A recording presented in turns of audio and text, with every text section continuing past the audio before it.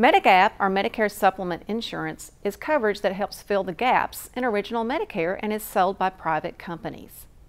Original Medicare pays for most, but not all, of the cost for covered healthcare services and supplies.